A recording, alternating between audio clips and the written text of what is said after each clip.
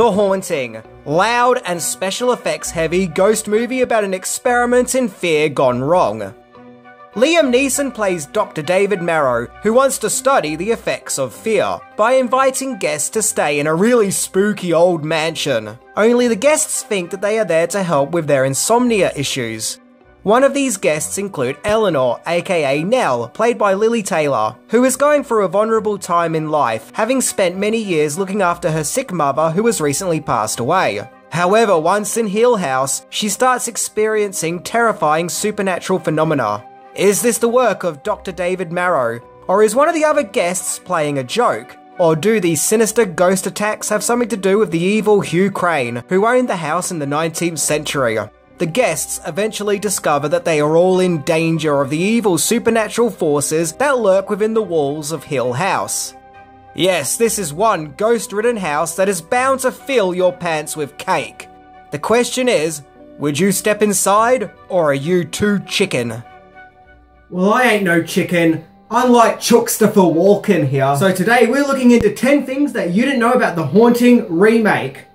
Let's check it out. Yeah.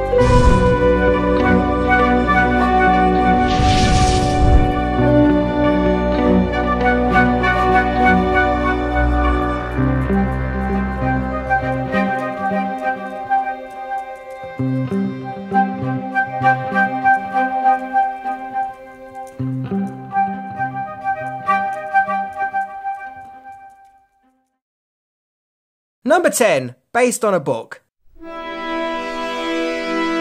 So, as most people know, the 1999 Haunting is a remake of a 1963 British horror movie, also called The Haunting. But that movie itself is a remake. Well, an adaptation anyway. The script for the original Haunting was written by Nelson Gidding, and he based the screenplay on the 1959 book The Haunting of Hill House by Shirley Jackson. The book is about a Dr. John Montague who wants to do research into the paranormal and rents out the old Hill House for its reputation of being haunted, where he invites guests, all of whom have histories involving the supernatural, where the guests encounter terrifying ghostly happenings, with the main character, Eleanor, getting possessed by the house. Jackson got the idea of writing The Haunting on Hill House after reading about a group of psychic researchers from the 19th century who stayed at a supposed haunted house to see what paranormal findings they could discover. Now, this is where things get weird, as the Haunting on Hill House book was the inspiration for the classic horror movie The House on Haunted Hill starring Vincent Price, which also came out in 1959 in which that movie also has the main plot of guests staying at a creepy haunted location to see what events transpire. And that movie got a remake in 1999, the very same year that the Haunting remake was released. So could it be that the house on Haunted Hill and the haunting are in fact one and the same? Number 9. The original was considered too scary to sit through. So before we got the 1999 Haunting, there was the 1963 original that preceded it. Whereas the 1999 version could be bombastic with its loud noises and overindulgence of CGI, the original was more subtle, generally going for a more suspenseful, spooky atmosphere. Now, there are similarities between the two movies. They both focus on a main character called Eleanor, who is part of a group who stay at a supposed haunted mansion. Only unlike the remake, where the guests are tricked into staying at the mansion thinking that they are working on curing their insomnia, where in reality Dr. Marrow is studying the effects of fear, in the original, there are no false pretenses. They are all there researching the rumoured so called paranormal activity of the place, thanks to many of the people who died tragically in the house, including its sinister owner, Hugh Crane. The original movie definitely had more ambiguity as to whether or not the place is haunted, or if Eleanor is having a mental breakdown, or if someone in the group is pulling a trick on her. The movie was directed by Robert Wise, who would go on to direct West Side Story, along with The Sound of Music, and Star Trek The Motion Picture. And although the original Haunting may not be so remembered these days, back in the time of its release, it was considered a really terrifying movie. In fact, it was so well known for people walking out of the movie in fear during its cinematic run, a movie theatre in Houston, Texas held a competition to see who could sit through the movie without leaving any time during the screening. and the winner got $100. Hey, that's an easy way to make some coin. But despite its fear factor, the movie didn't make much money during its cinematic run. Probably because people were too scared to go and see it. Number 8. The remake started as a Steven Spielberg and Stephen King collaboration. Yeah, just imagine it. The two great Stevens working together to give us something truly spectacular. So Spielberg approached King in the mid 90s although there are some claims that it was King who approached Spielberg, about them both collaborating on a ghost movie together. Now, this would have seemed like the perfect ghost story combo, as Spielberg had already written and produced and maybe secretly directed the classic horror ghost movie Poltergeist, and King wrote the classic ghost novel The Shining, and, well, King is the master of horror. What more needs to be said? During the early production of this cinematic horror ghost tale, it was decided to use the 1963 Haunting movie as a basis for this film, so the script was in development. But here is where things fall apart. Spielberg wanted the movie to be full of excitement and thrills, a crowd pleasing roller coaster ride. Basically, a Spielberg movie. But King wanted less loud noises and bangs with more of a focus on the horror itself. Basically, a King story. So, due to the creative differences, the project was abandoned and the script was temporarily shelved. Something that Spielberg and King felt was the right thing to do, despite several years already being put into the development of the script. Hey, I love both Spielberg and King, and I think that they have both given us amazing works over the years. However, maybe the two just aren't meant to work together. Maybe they're just too different. They're both brilliant, but their styles just are too different. Number 7. The project was then split into two. Yes, despite Spielberg and King initially deciding to drop this ghost story script that they had been working on, they both then decided to return to the abandoned script and make their own versions of it. Spielberg approached new coming scriptwriter David Self to rewrite and rework the abandoned script that he and King had been working on. Self is a talented writer whose limited writing credits include the truly brilliant Road to Perdition, as well as doing uncredited script work on The Bourne Identity. So his script would become the basis for the 1999 version of The Haunting. However, King also felt that he wasn't entirely ready to give up on the story either. So in 1999, he bought the rights to the original script that he and Spielberg had been working on.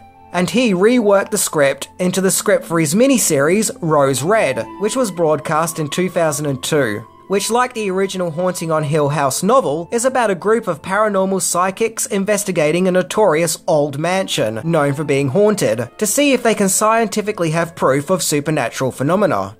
The miniseries got very impressive ratings, and it did get praise, although some did struggle with its overall 4 hour long duration. In fact, Rose Red is kind of unique, as it's very rare that King would make a remake of an old story. So if you want to see the Spielberg version of The Haunting, you've got the 1999 movie. And if you want to see the King version, you've got the 2002 Rose Red miniseries. Which one is better? Well, that's up to the viewer. So could it be that The Haunting and Rose Red are in fact one and the same?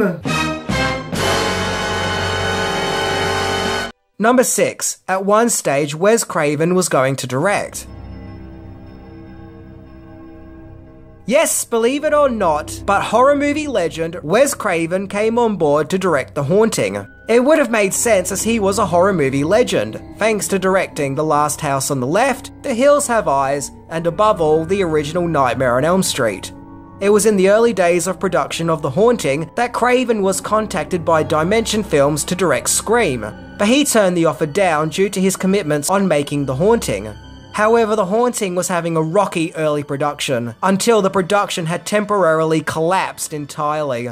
So, needing to find work at the time, Craven contacted Dimension Films and was like, Yeah, you know that Haunting movie that I was working on? Well, it didn't really work out. So, do you still want me to direct that Scream movie?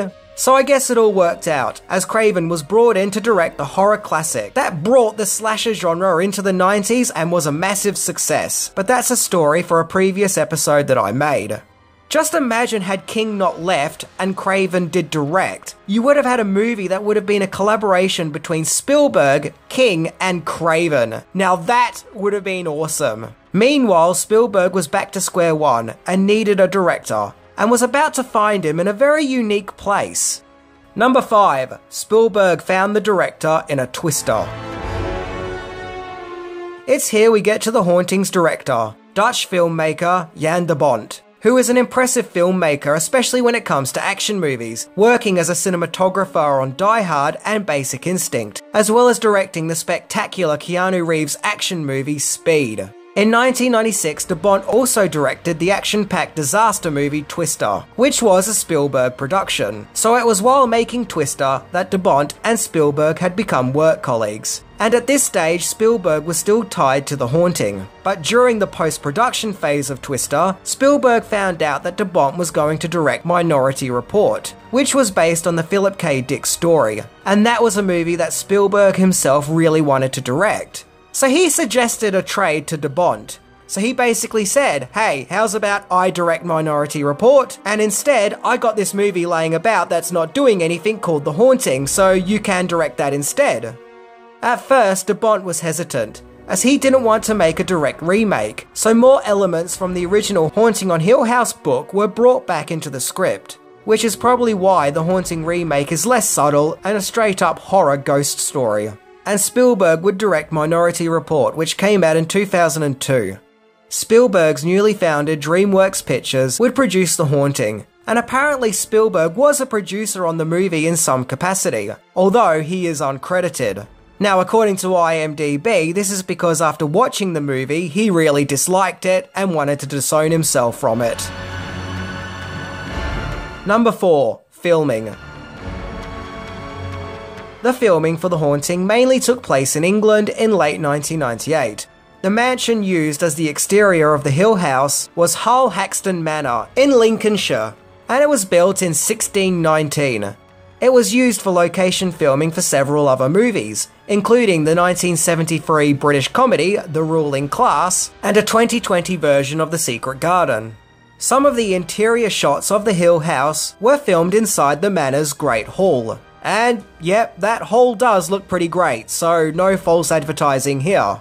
When it came to filming most of the interiors, the production left England and headed to sunny California, as most of the interior scenes were built on sets inside a dome hangar of all places, which is located in Long Beach, California. The movie had a very impressive cast, including Liam Neeson as Dr. David Marrow, Lili Taylor as Eleanor, Catherine Zeta Jones as Theo, Owen Wilson as Luke, the irony being Luke is the name of his real life brother, and oddly, a really tiny appearance by Virginia Madsen as Eleanor's sister, who is briefly shown at the very start, never to be seen again. Number 3 Reshoots. Yeah, by certain accounts that I've read, making this movie wasn't easy and it wasn't an enjoyable shoot. A huge chunk of the movie supposedly had to be refilmed, because during the shoot, its cinematographer, Caleb Deschanel, left the production due to creative differences, which caused setbacks. According to IMDb, after watching an early cut of the movie, Steven Spielberg wasn't happy with the movie and requested reshoots to be done. Apparently, director Jan de Bont didn't want to return to the reshoots. I guess he felt that he had shot the movie and wanted it to be done and finished with so more reshoots had to be completed. And I guess this story goes with the theory that Spielberg disowned The Haunting because he just simply wasn't happy with the film.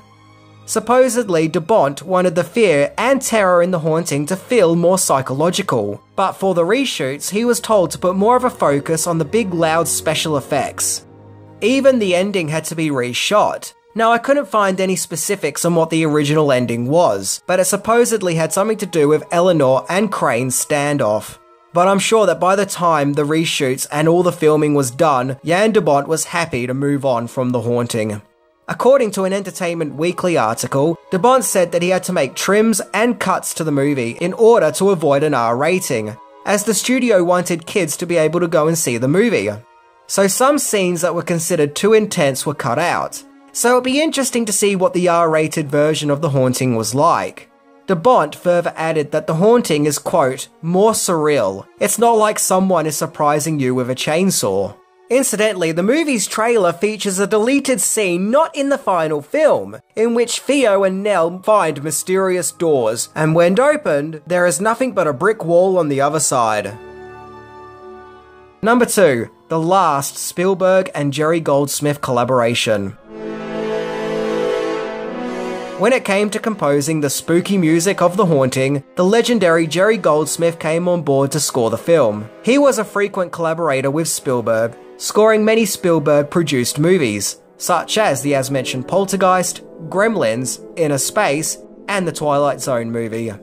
As usual, he gives a masterful score, which generally sounds somber and spooky, but also powerful and bombastic when it needs to be. As far as it being a piece of Goldsmith music goes, it sounds familiar and yet different at the same time. It has that romanticized sound that Goldsmith usually injects into his scores, which I absolutely love, especially with Eleanor's theme. But it also has a really dark sense of foreboding too. This might just be one of the creepiest scores that Goldsmith has ever provided. However, he too didn't have the best of times working on The Haunting, as he was just so overwhelmed with work at the time, as he was also scoring The Mummy and The 13th Warrior. The 13th Warrior in particular was really difficult, as he just wasn't happy with the score that he had created for that movie. The Haunting would be the last Spielberg related project that Goldsmith would work on, and the composing icon passed away five years later. And so, The Haunting kind of marks the end of an era, an era that started with those fun Spielberg movies of the 80s. Number 1 Haunted by Razzie nominations. So The Haunting was released in July 1999, and it was actually quite financially successful, making just over $180 million on an $80 million budget. However, the movie was met with a vast amount of criticism from the critics, it was felt that the movie was a mess that relies too much on horror gimmicks and an over reliance on CGI, along with a weak script and poor acting. And The Haunting currently has a measly 17% on Rotten Tomatoes. Yep, them tomatoes sure are rotten. To rub salt into the wound, The Haunting would go on to be nominated for a staggering five Razzie Awards, including Worst Picture, Worst Screenplay, Worst Director, and two Worst Actress nominations for Catherine Zeta Jones and Lili Taylor. However, it lost all of these awards to Wild Wild West. Jeez, I sure hope Will Smith didn't slap anyone. It would also go on to be nominated for six Stinkers Bad Movie Awards, and one for Worst Picture and Worst Remake. And then, in subsequent years, The Haunting largely became a forgotten movie. No one was really talking about it anymore, it just came and went. So, where did it all go wrong? Well, my theory is maybe people were confused with what to expect. I mean, you look at the poster and you think that you're going to get The Exorcist or something of that ilk, but what you get is more of a special effects ridden roller coaster ride, so it's less Exorcist and more Star Wars. Aesthetically speaking, the movie has a look and feel of a creepy, dark gothic horror movie, but then it also has loud, bombastic moments filled with CGI that feels like it's trying to be more of an as mentioned popcorn roller coaster ride movie that's designed to give you a quick thrill rather than being genuinely scary. Something I've noticed that happened quite a few times while researching the movie, and something you guys have no doubt heard me mention several times, is people leaving the production due to creative differences one of them being Stephen King himself, with even Jan de Bont having a clash of visions, which in turn caused the reshoots. Maybe there was just an overall clash over the movie's ideology, with people who wanted to make it an unnerving ghost story, and Spielberg who wanted to make it more of a special effects crowd pleaser. And I guess you can't blame him, as it worked for Poltergeist, along with other scare movies that he had made, like Jaws and Jurassic Park. So he was just going with what has worked with his movies in the past. But these clashes of dark gothic supernatural thriller mixed in with a Hollywood style of special effects and set pieces do clash. And maybe at its core, that is the big issue with The Haunting. I also do think that the CGI does hurt the movie, as it does really look animated in places. But at that time, Industrial Light and Magic, who are working on the effects, were also working on The Phantom Menace. So maybe most of their care and attention went into that movie, but that's just a guess. But all said and done, I don't think The Haunting is a terrible movie, and I don't think it deserved all the backlash it got. And something I've noticed is that in recent years, the movie seems to have made a resurgence. A new fan base who have gone back to rewatch it and come to the conclusion that it's actually a pretty enjoyable movie. In the past, I haven't said the nicest things about this movie, but upon going back to rewatch it recently, my opinion of it has gone up. Just go into it not expecting the ultimate horror ghost movie experience that's going to push boundaries, but rather as a fun popcorn movie. A B movie in disguise as a serious gothic supernatural drama. And once you get past all that, you'll probably see that The Haunting is a good time.